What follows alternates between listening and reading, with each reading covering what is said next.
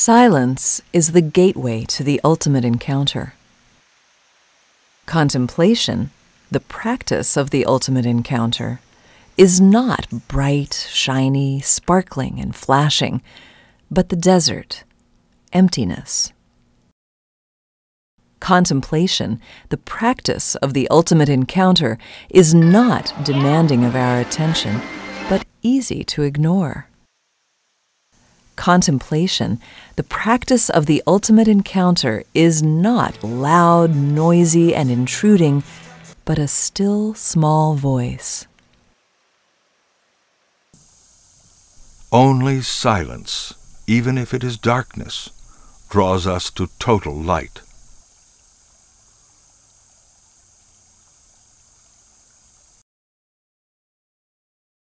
What was before the Big Bang? The infinite silence. What will remain after the last star fizzles? The infinite silence. What is present to me in every moment and every experience of my life, whether I choose to acknowledge it or not? The infinite silence.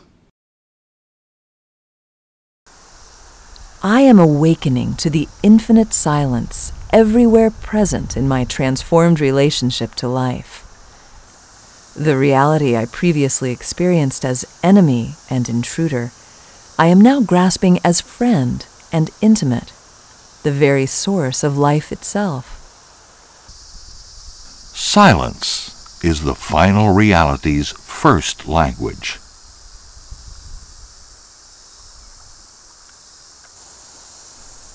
If you love truth, be a lover of silence.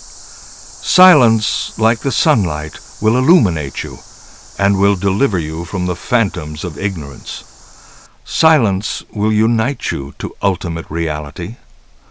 More than all things, love silence. It brings you a fruit that tongue cannot describe. In the beginning, we have to force ourselves to be silent, but then there is born something that draws us to silence. If only you practice this, untold light will dawn on you in consequence. After a while, a certain sweetness is born in the heart of this exercise, and the body is drawn almost by force to remain in silence.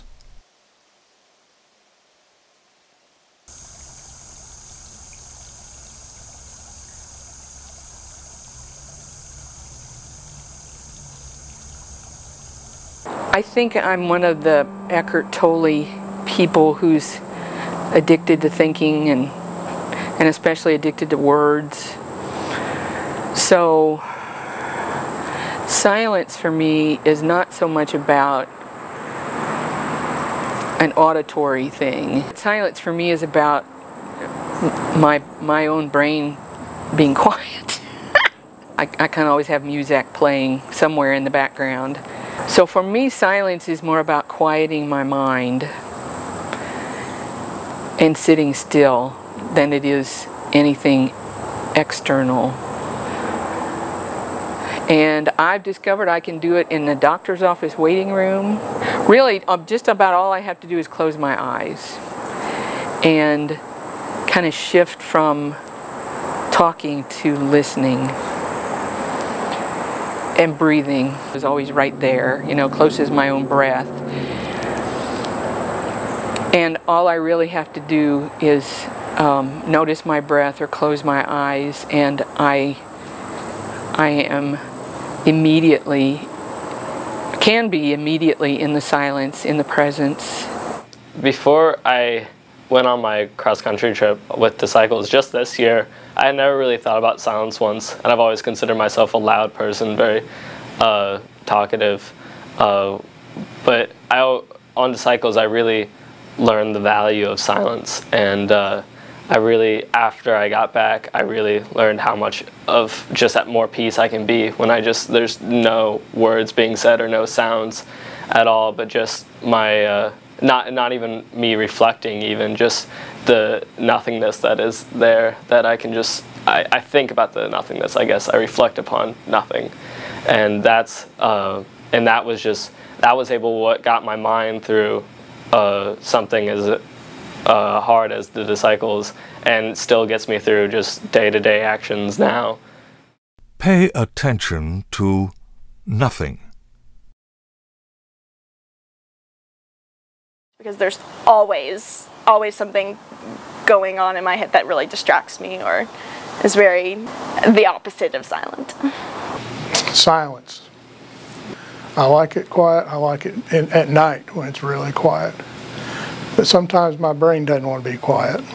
A lot of times I can be saying one thing, my brain will be saying something else on a completely different topic.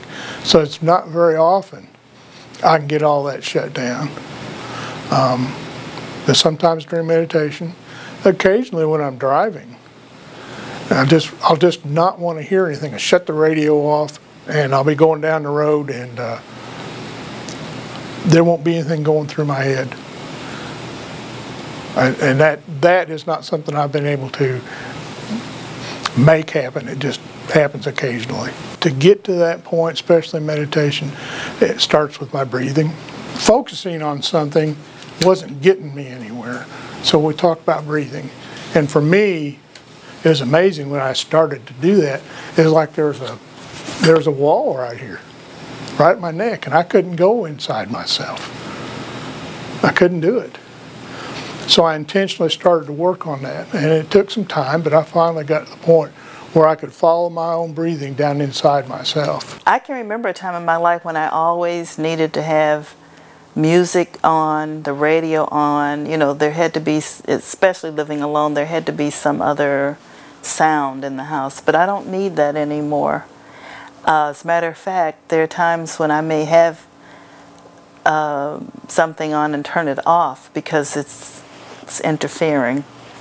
Uh, so silence is critical for me, absolutely critical. If you don't have that silent space, you can't be aware. In the last couple years, I've uh, started a yoga practice and where there is a focus on the breath and returning to the breath and a mindfulness of the breath. And uh, I feel like it's a journey within uh, when you follow the breath and just the fundamental uh,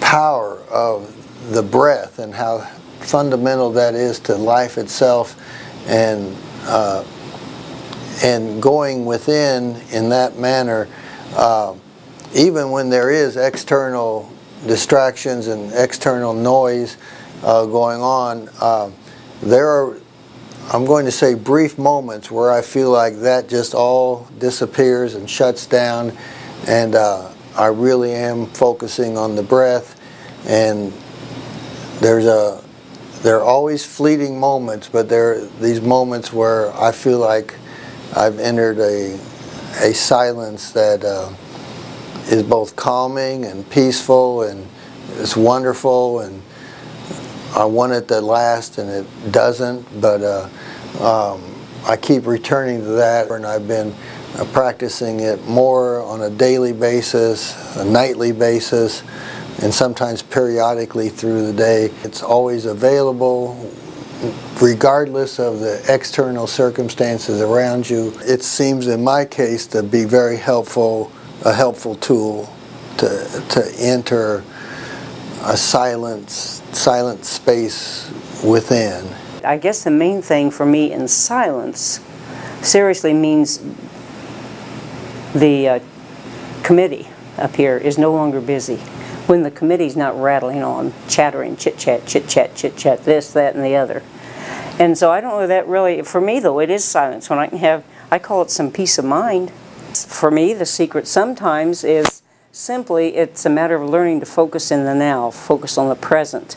Sometimes it may mean just saying a word like peace over and over and over, sometimes over and over and over, until the committee zips it up and maybe goes out the door. Something to clear the channel in my mind. One way to focus on the moment. She said, I am ironing. I am ironing the collar. I am ironing the cuff. I'm ironing the sleeve. My heavy dishes. I'm washing this dish. I'm rinsing this dish. I'm placing this dish here. kind of rote, kind of humdrum, some, but it will stop the chatter. So silence is a it is a state of conscious awareness of oneness. The ego drops away. The ego is verbal. I do a regular meditation practice, so for me, I, I'm in the silence a lot. It doesn't necessarily mean my thoughts stop. I, I, I go into a place where, for me, I'm, I'm very aware that there is sort of this dual self. There is the, the little s self, which is Lori, the ego self, and then there is this capital S self that is um, that is that infinite oneness. And I am an expression of that infinite oneness. And so when I when I go into the silence, it's like I'm moving from one chair to another. I'm stepping out of the little S self and into the big S self. And so when I say I, it's a different I that's talking. And the thoughts over here in the little S self, they don't stop. They just keep going because that's what it does. It thinks. But I am in a different I that's standing back looking at that. And I can see the silent places between the thoughts. It's like stars on a night sky. All the thoughts are the stars, but there's big blanks in between that mostly we don't notice. And so it's a stillness, but it's a stillness that is um, very awake. It's not it's not sleepy. And there's almost like a, a very slow, very nonverbal conversation going on. Thoughts will arise up out of that stillness, but they're not ego thoughts. They're very, uh, they have a very different flavor, different um, feel to them. Can't really describe it, but there's no mistaking where the thought is coming from, whether it's coming from ego or coming out of that silence. It is time for me to step out into my life and begin communicating in the first language of the final reality. Join me in this still place.